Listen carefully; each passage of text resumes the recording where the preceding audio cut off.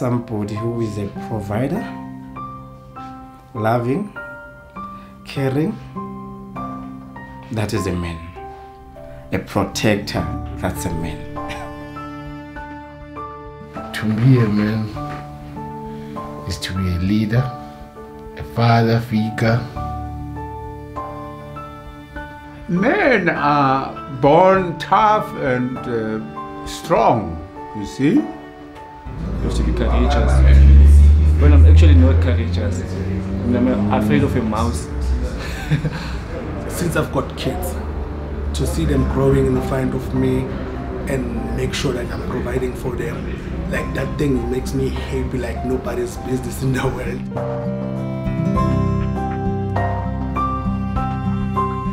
Honestly speaking, I don't like what I'm about to say. The best thing about being a man is not having to deal with other men. Because I look at men today and I'm like, if I was a woman and I had to deal with one of this, I'm not sure if I'd be able to live. The Creator had perhaps intended us to be on this earth so that we can be the protectors and the guardians, both over nature and over our female species. You know, men traditionally we believe in the dominance of the male in the family. So there are just so many benefits of being a man. Hey, I don't have to wear weave. I don't have to wear makeup. I don't have to wear nails. You know, it's easy to maintain it, man. I'm Zulu, so patriarchy is something that's in me, unfortunately. And I have to admit that there are certain parts of it that I do like. I do like the fact that a woman has to look at me and treat me like I'm her king. It's amazing, it makes me feel great.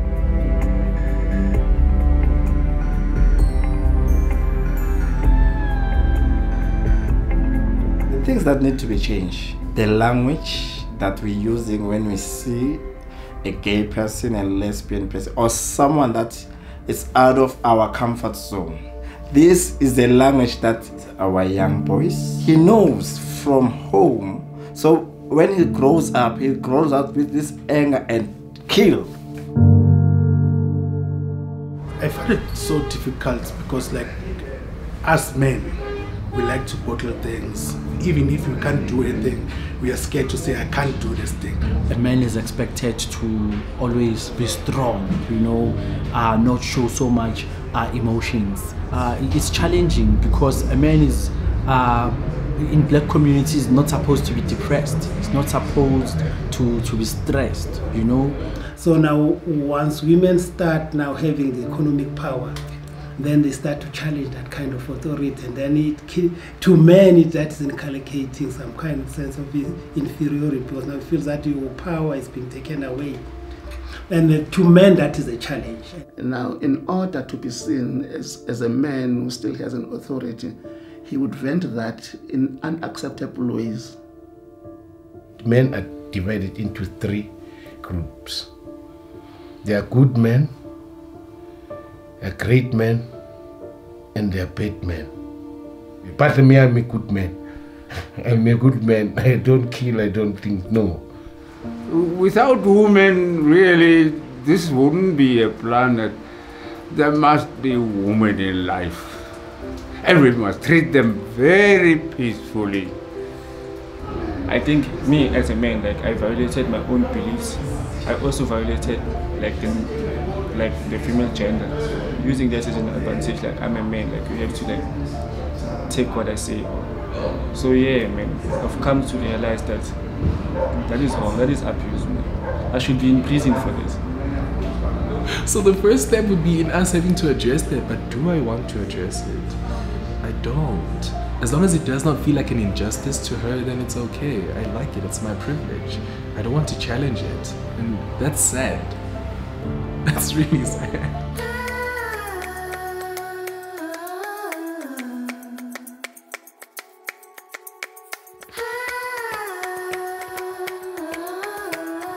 So annually, the Ujamaa Centre, that is based within the University of KwaZulu-Natal, hosts the annual Memorial Eudy Simelane Lecture.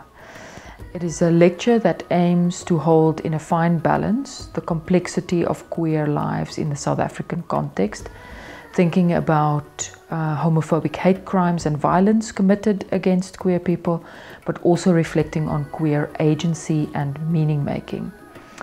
This year is the fifth installment of the Eudy Simelane lecture, and our theme for this year is men, masculinities, and homophobic hate crime. I think the most important reason why we host this lecture every year is to stimulate complicated conversations in the South African landscape. Because the situation of gender based violence and homophobic hate crime is not being resolved. It's not getting better, it's actually just getting worse. Uh, so, this year, the production of the lecture uh, consisted of two parts. So, firstly, we interviewed men from KwaThema because this is indeed the landscape in which Eudy lived, but also ultimately died. And then we invited Professor Zethu Matebeni from the University of Fort Hare to be this year's keynote speaker, as um, she represents uh, close proximity to the life of Eudy and her queer scholarship in the African landscape is a unique voice that is imperative for a time like this.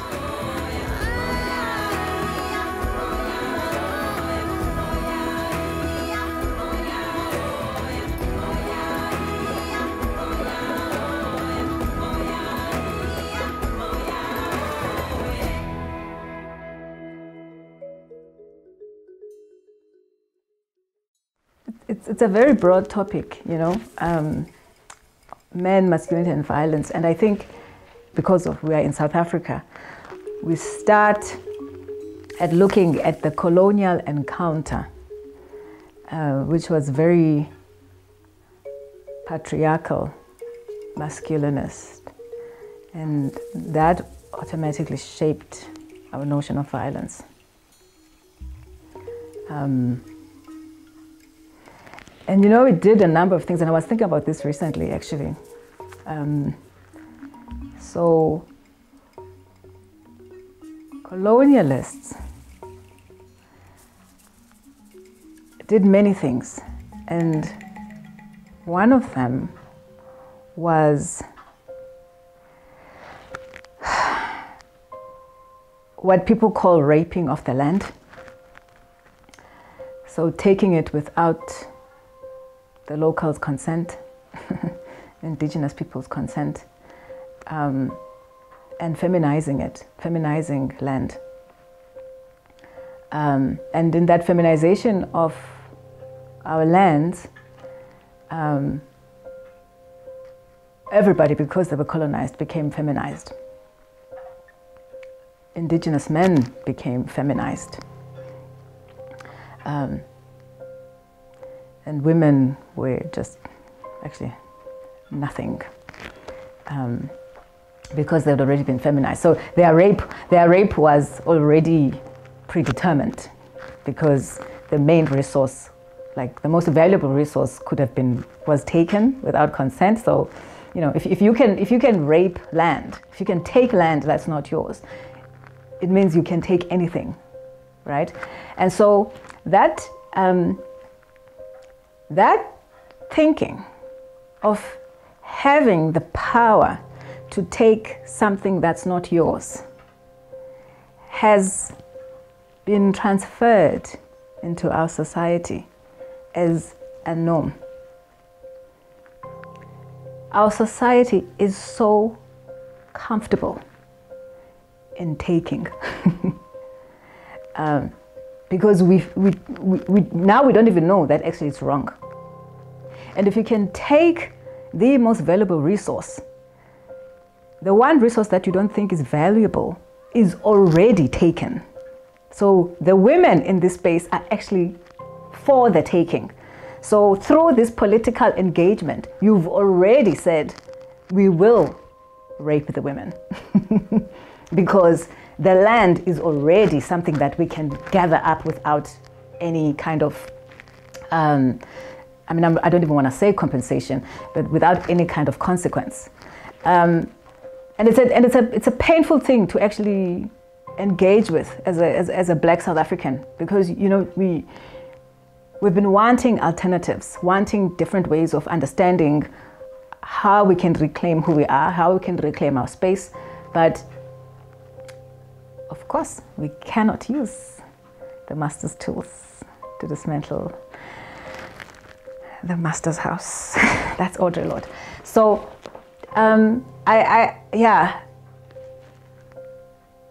If you want to think about men, masculinity, and violence, we go back to that history and go back to the internalization of how we become who we are um, as, as people, who and what frames our way of seeing the world.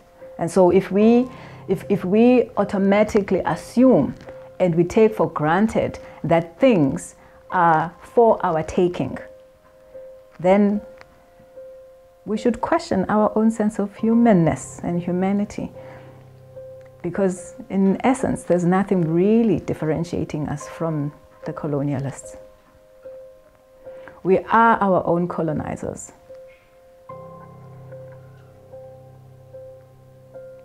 So, and you can hear here, I'm not just talking about men, because I do implicate all humans, whether they are um, bodied as female or male.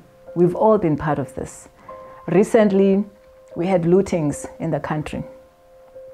Everyone was implicated in that. And it's part of this that we, you know, at some point, at some point we can feel that anything is for our taking without consequence. Um, we can take a body, we can take a child's body and manipulate it and violate it without consequence. We can take a woman's body and violate it without consequence. We can take our most valued resource, violate it without consequence. What would it take for men to let go of their privilege? Um, because, I mean, many men know this is a lie.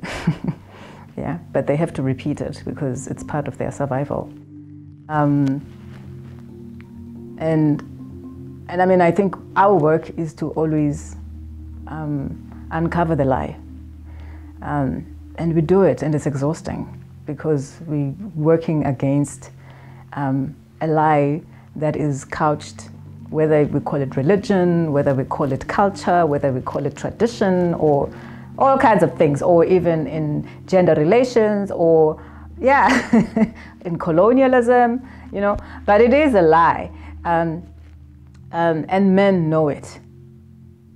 Even rehearsing the things that they're the head of the household, they're supposed to provide, and most men don't provide. They don't. That's the reality of South Africa. Most women will tell you. They, I mean, houses are female-headed. Um, men have disappeared. they don't pay maintenance. We know that. so, what are they providing, and to whom are they providing? They're not. So they're not providers. They must stop that nonsense. They're not. They're just lying. Um, I mean, yeah, we can. We have this evidence, and they do know that they're not. They're not providing. They run away. I mean, that you know, there's uh, uh, there are lots of these kinds of like uh, reality shows. So there's one called Papgeld, where men, they, as soon as they see the cameras for this uh, in this car that's branded, they run off because they know they're being held accountable to go and pay maintenance money, and they don't. Even the ones who have, you know, really like well-paying jobs, they don't.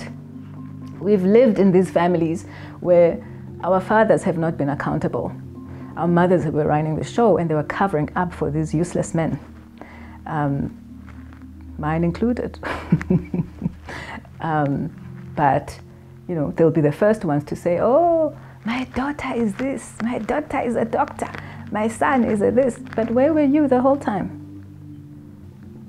So for me, I'm not, I, I don't buy this uh, nonsense of men being providers. Maybe there are some men who do it, but on a whole, when we talk about men as a class, please, I want to see some real provisions. Like if you are a provider, God, like this, this country would be a really different place. And if you were a carer, none of us would be crying about being raped and murdered in our sleep in our bedrooms. Um, yeah, And if you were a provider, children would not be getting pregnant right now at, at the age 11 to 13. So I don't buy your argument.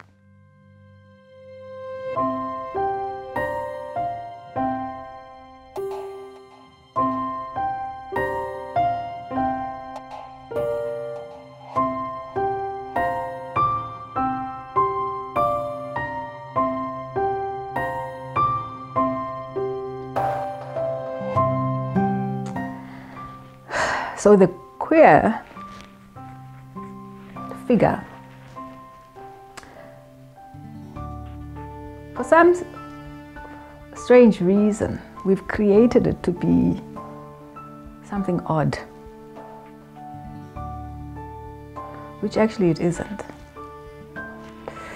So the first time the word queer appears in South Africa um, and this is when I'm doing archival research. So the first time we see the word queer within the lesbian gay space is um, at a pride march in Cape Town, the first pride march in Cape Town. Um, that pride march was organized by the organization that was called ABIGALE, the Association for Bisexuals and uh, Lesbians and Gays in Cape Town and they were obviously involved in, in a lot of um, what was actually the beginnings of the treatment action campaign. It wasn't called that at the time, but they were part of this organizing. And, and, and the first Pride March was, uh, the theme for that Pride March was towards a queer South Africa. And I, I saw this and I loved it so much and I was like, here are these working class people, black, and they're imagining something so big for this country. This constitution had not existed at that time, but they had imagined a queer South Africa, a space that would be inclusive of everybody, regardless of their class position, their gender identity, their sexual orientation, whatever, you know. And and they were doing this um, on that street, passing that street of Parliament, trying to tell these lawmakers that hey, we could take South Africa to a, a really wonderful place, a queer country. Fast forward to 2000 and whatever. That pride becomes something else. I don't want to talk about the politics of pride, but queerness becomes an oddity. And you wonder why, when it was actually a space of imagining, a space of seeing a future for a country that was right at the beginning of, you know, like it said, this country was newly born, and you could see this child becoming like the most brilliant thing you can ever imagine, this genius. And for some strange reason, that, that space of imagination just collapsed. Um,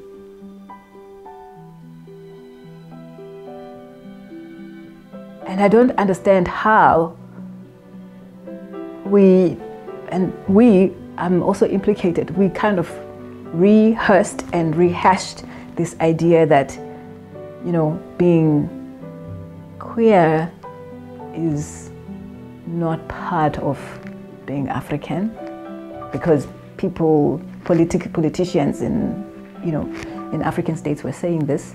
Um, and we couldn't use that moment of imagination to offer something different, to say, actually, queer is what you should be aspiring to aspiring towards. Like you want to be queer. You want, you want a continent that is queer. Uh, we, we, we weren't able to do that. And, and I feel sad uh, personally because I'm like, well, these guys did that. Nidi and Teresa, they, they gave us this thing. Zackie, they gave us this, this idea. And, and we kind of lost the ball because we got so excited about enjoying the L and the G and the B and the T and the I. By the time the queer came, we are like, we're all something else. So for me, that, that notion of queer was not really about identity necessarily. It was about the bigger picture. What is it that we are becoming? And, and it's, a, it's like a global framework, so to speak. So that's why I'm attracted to queer, particularly because of its beginnings. And I want to, to, you know, to bring it back and say, hey, you know, here it is. Like these people said it, said it already in the early 90s, and we didn't really understand what they were doing. And let's, let's, let, let, let's take it forward. So now queer is, now queer is this thing that is an African, not part of religion, because it's so associated mostly to lesbian, gay, bisexual, trans. Um, which are only actually like legislated identities. Um, and, and marrying, marrying this imagination and with these small identities, for me is, is where we kind of lost the ball. Um, and how we have participated in us being othered.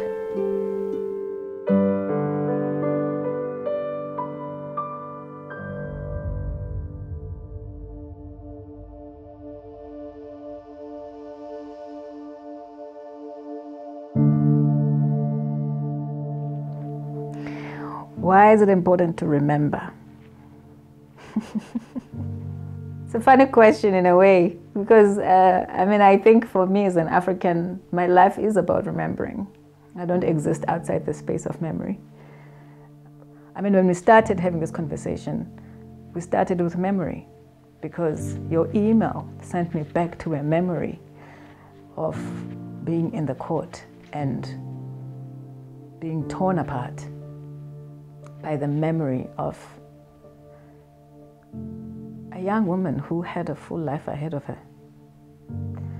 Um, and imagining myself being that person.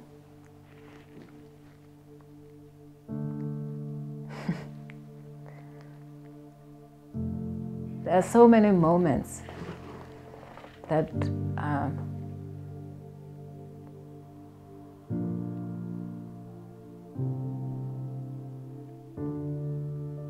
so many moments that um,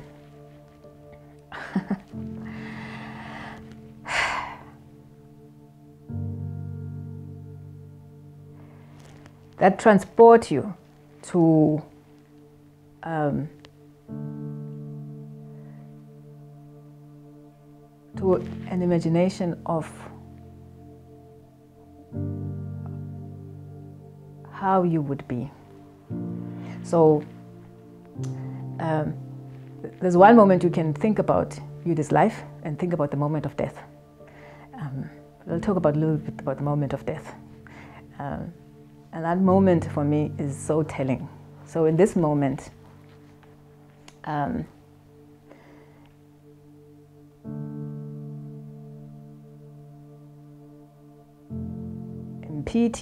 says, he's the guy who, one of the guys who murdered Eudy. Beauty says, she looks at me and she says, Hey, you know me, I know you.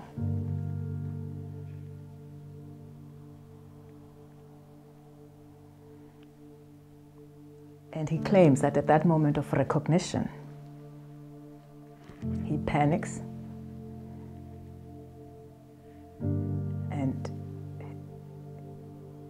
murders, he kills her. There's another moment. And I mean, this you can unpack this in so many different ways. A moment of recognition, having a conversation with someone you know, and by looking into your eyes and acknowledging familiarity, and he decides to kill you. You haven't done anything. Another moment, um, a young woman lives in Cape Town. She's walking home. She lives with her grandmother and her niece. She gets home, it's about six, maybe six forty-seven. Sun is setting in Cape Town. She walks home and she goes into the bedroom where her grandmother is lying on the bed with the granddaughter, the niece. And casually, it's like just coming home to be with Gogo, and that's where they stay. They all sleep in the same bed. She had closed the door, naturally. Walks in, closes the door, goes into the bedroom. As she's in the bedroom, we are now in a bedroom, so you can imagine this. As she's in the bedroom, there's Gogo sleeping there, and there's the niece, this grandchild. As in the bedroom, a man pushes the front door, gets into the bedroom, and shoots at her.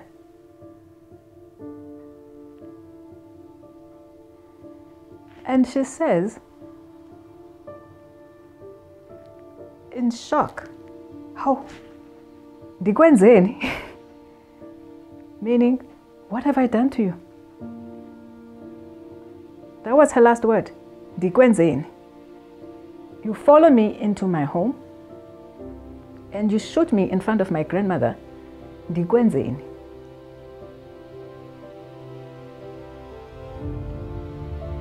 Name is and she was shot multiple times in her bedroom with her gogo and her blood had splashed all over the walls in front of the niece and her grandmother.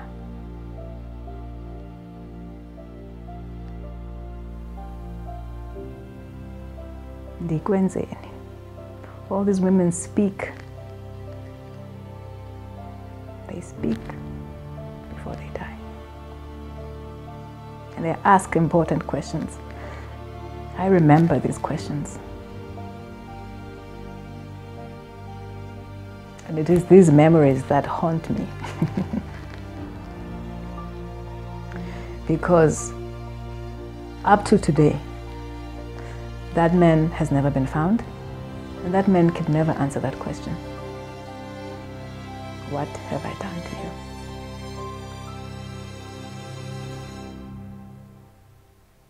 Because they didn't do anything. She didn't do anything. You didn't do anything. So we remember because we want to understand how it is. Well, for me personally, I want to understand. I guess it's a personal endeavor. I need to understand how it is that my death will come. I have to be honest, I'm a black queer person in South Africa.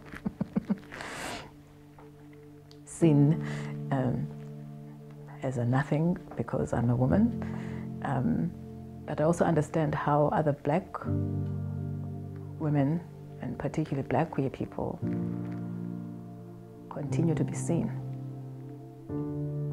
And how it is that we can change how they are seen now so that they can have a different story about their experience of death. I find death in South Africa very traumatic, very traumatic.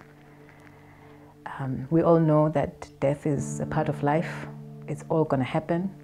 But for, for women in particular,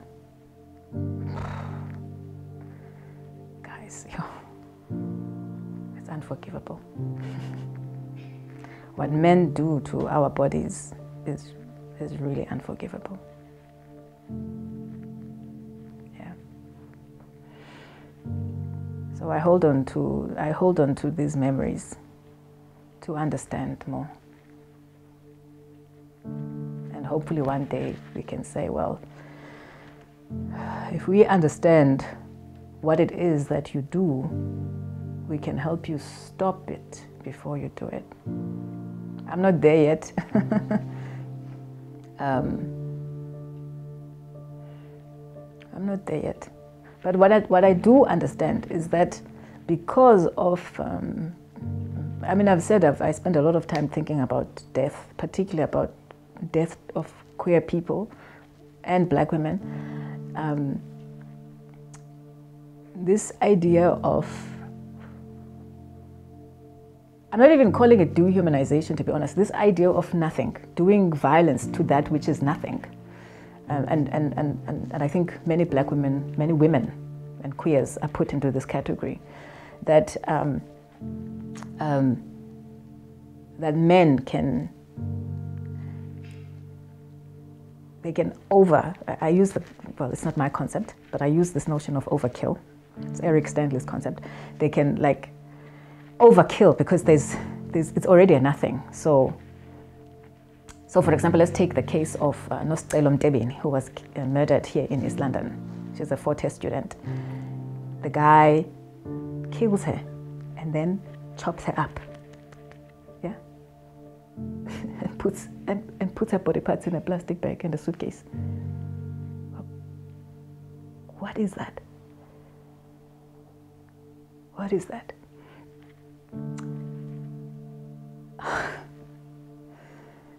we followed cases where these are gruesome, men, gruesome. Queer people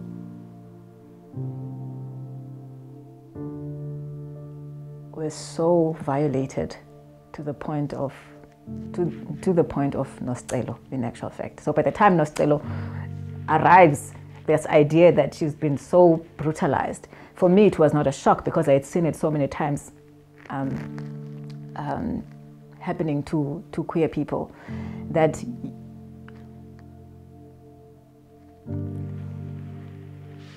yeah, like,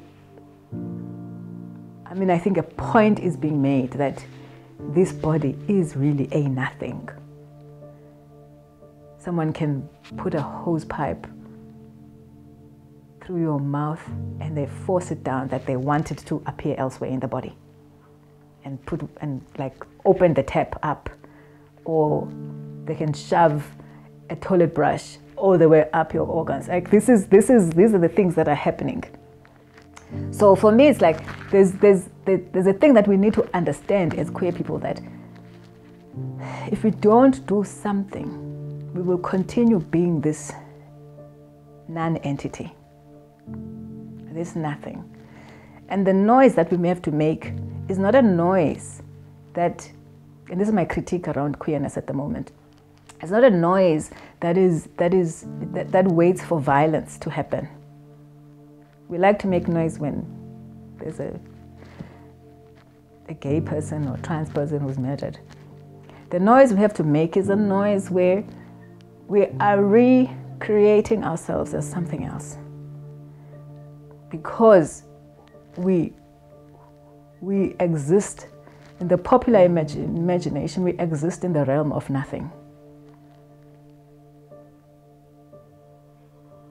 We have to undo that.